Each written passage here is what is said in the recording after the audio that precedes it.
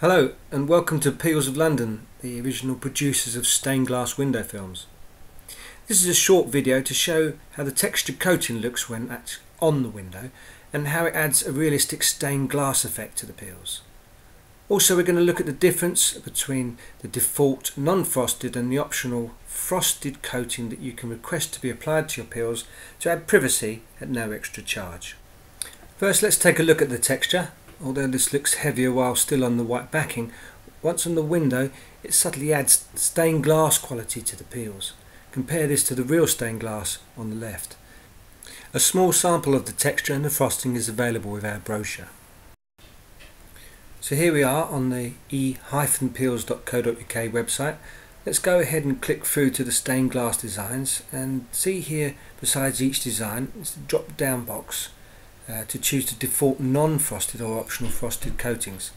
So let's have a look at that difference. By default, peels are produced with just a subtle texture and as seen here do not obscure vision or provide additional privacy. If the frosted option is checked when ordering, a coating of frosting is applied to the peel to obscure vision. This not only stops people being able to see in, it can also hide unsightly views.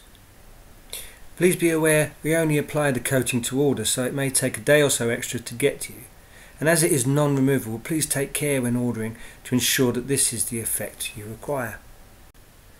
Here we can see just how well the window is obscured while still allowing light through. Only the shadow of things a few inches away can be seen. We've left the top section unfrosted to highlight the difference.